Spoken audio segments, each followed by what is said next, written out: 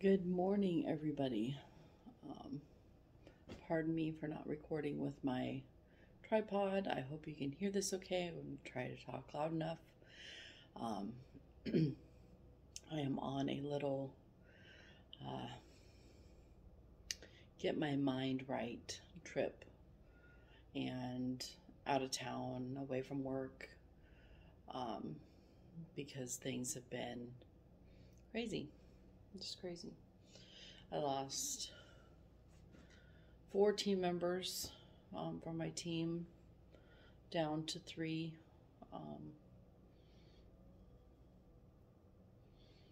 permanent members. Um, one more, actually, two more um, contractors, and they're probably going to be leaving. Um, when I say that I've been stressed, I've been stressed. I'm kind of the team, team, unofficial team lead. And um, yeah, it's a lot. It's a lot. So to say that I haven't been on track with a lot of things um, is kind of an understatement of the year.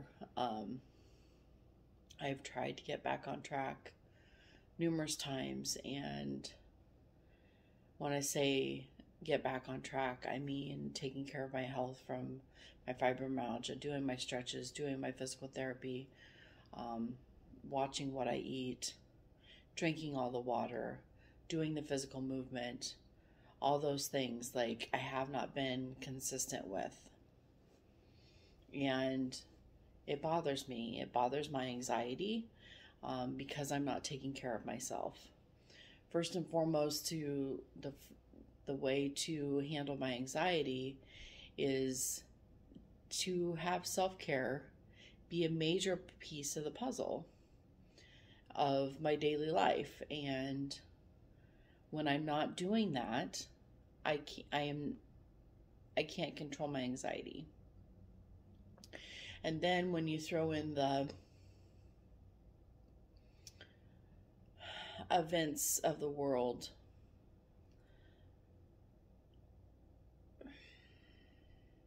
as an empath, it's even harder to to take those things in and um, I get stuck on the spiral.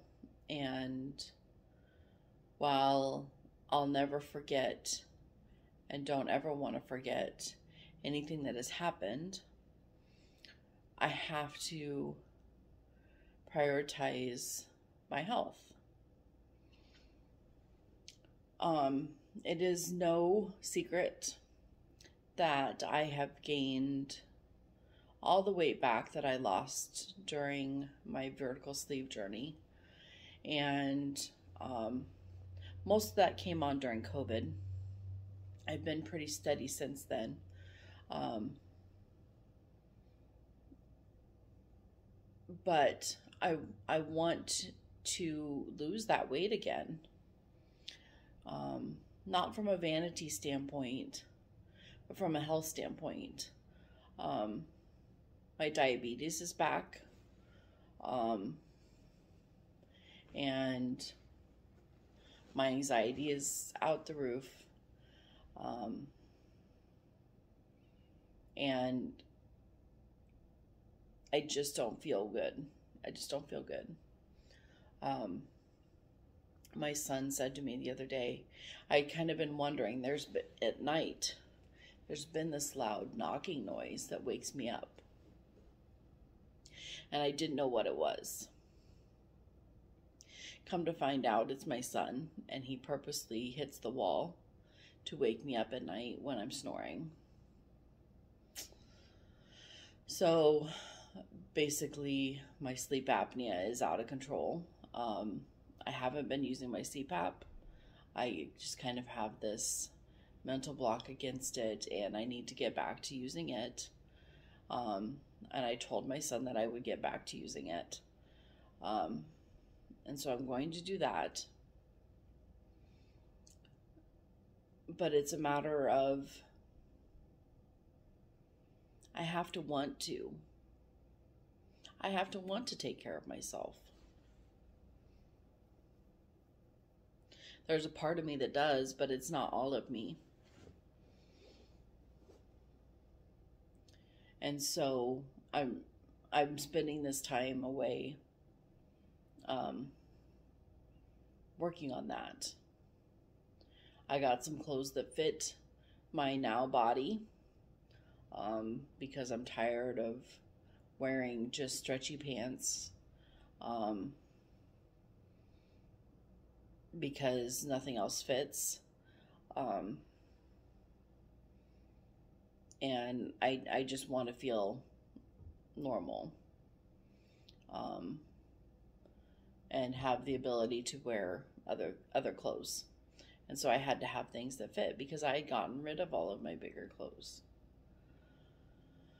So, anyway, um, so I've done some shopping, um, done a lot of thinking, and about what I need to do and what's what's stopping me from doing the things that I need to do. And I think that's the key is what's stopping me from going forward. There's a couple different things. So when I hang out with friends, I I want to just be part of the the gang. I don't want to be different and I think that is a big part of why I struggle because a lot of those events revolve around food. And so I don't want them to have to make different food and those kinds of things. So I'm trying to figure out how to handle those social social situations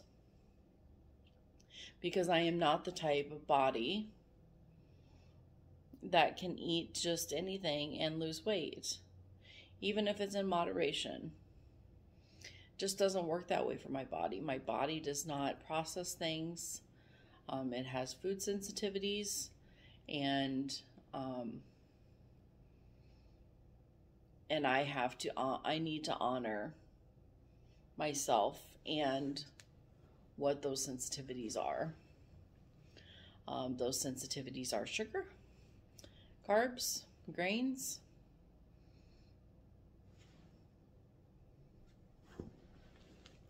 It's basically about it. And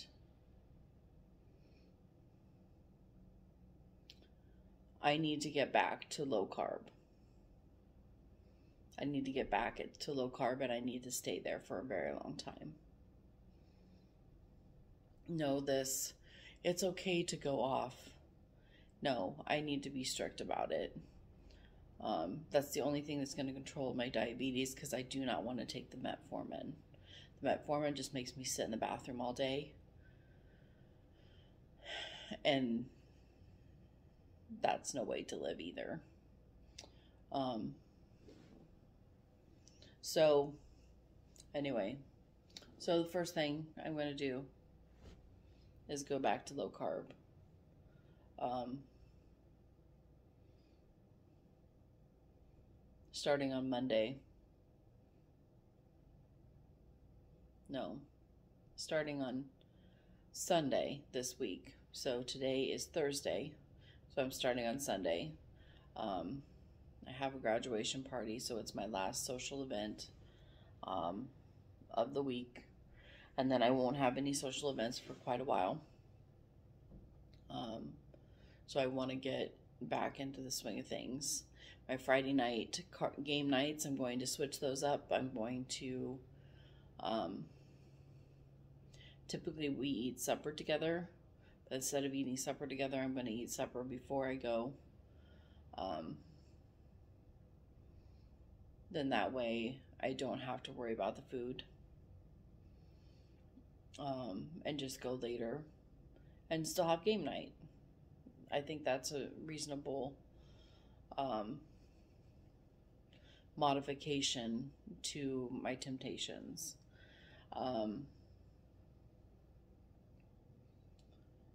I'm probably going to be leaning more towards carnivore for a while just to get the carbs out of my system. Um, I got to get this inflammation down. My back has been hurting a lot. And I've noticed that these two days walking around um, shopping and things like that, like my lower back is just a, a mess. And I know that it's inflammation um, causing it. And the more grains that I eat, the worse it gets.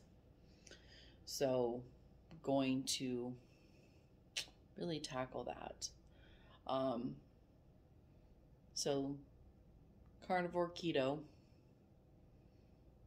Uh, if it's if I go keto, it's yeah, I I want to um, be true to myself and really give it a solid try like I've done before. Um,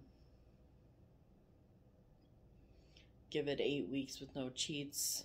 I'm gonna try. I got some meal uh, meal plan sheets. I'm gonna do some meal planning, um, and get that back back on the saddle.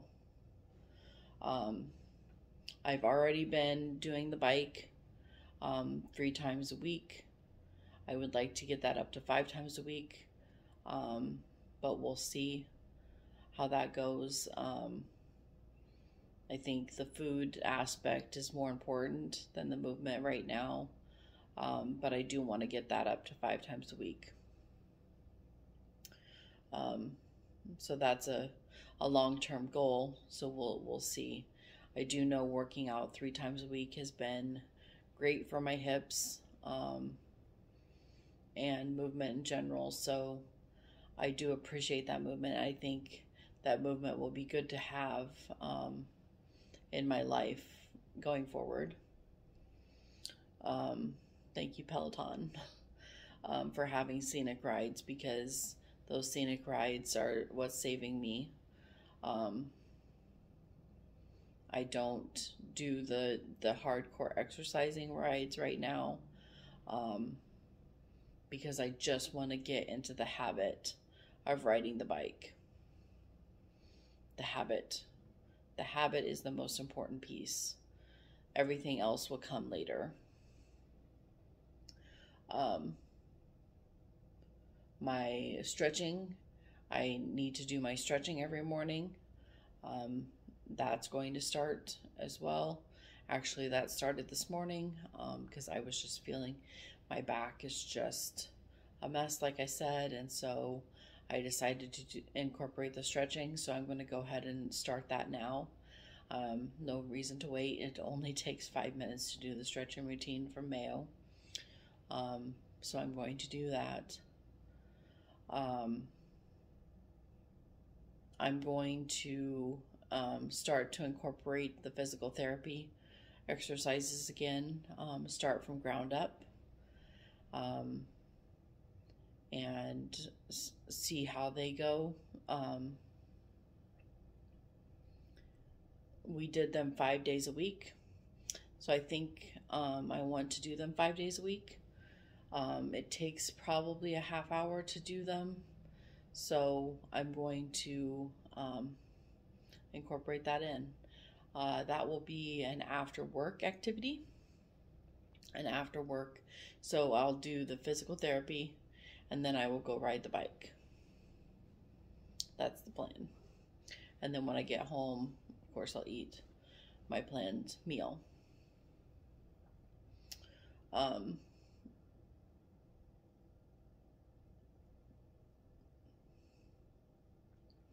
I am going to set up and clean up my um, CPAP machine and get that going. I'm going to go ahead and get that going. Um, I don't know if I'll get that going tonight or if it'll be tomorrow night um because I have to clean the area around it um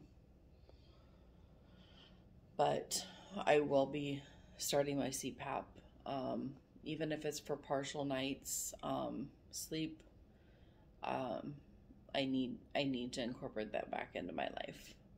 I will feel better. I will be have more energy during the day. I won't be falling asleep during the day. Um, I won't be wanting to take a nap during the day. Um, yeah, CPAP is a must. So, yeah, that's that's the gist of my and water. Oh my goodness, I need to drink so much water. Um, and I'm going to start incorporating that in more. I got to get um, another ice tray um, because I think that's been holding me back from drinking um, water is that I don't have enough ice at home because I don't have an ice maker. So, um, get another ice tray and um, drink my water. Drink my water, so important. Um, the, there's a couple other things I'm going to do. I'm going to start taking care of my skin a little bit better. Um, my skin has been so dry and scaly and um, like sheddy, and so I'm I'm going to um, work on taking care of it better. You know, you just these these are little things. These are things that I should be doing every day that I haven't been and um it seems like a lot but it really isn't. It's just small things at different times of the day. And um, I have plenty of time because I'm going to tell you why I know that I have plenty of time because I spend lots of time scrolling Instagram or scrolling Facebook or, or watching a YouTube video. Those YouTube videos, I can be watching those while I'm doing the Peloton. So there is no reason why I should be sitting at home watching a YouTube video doing nothing else. Um, so if I have time to be doing those things, then I have time to be taking care of myself. Am I being a little bit hard on myself? I, am because I'm disappointed in myself. And if you're disappointed in yourself, then you have to figure out what you have to do to do things differently. And um, that's what I'm that's what I'm doing. And I haven't made this kind of confessions video um, and the hard honest truth here on YouTube about things but here it is. Um, I'm going to try to make videos to track my progress um, to talk about how things are going I don't know how often they will be. Um, I'd like to say once a week, but we know me and videos. I think I said that before. Um, I I want to to do once a week updates, um, but it's not really something that just taking care of your health is not really something that you can just make a video about. I guess you can. I guess that I can't is something I need to get over as well.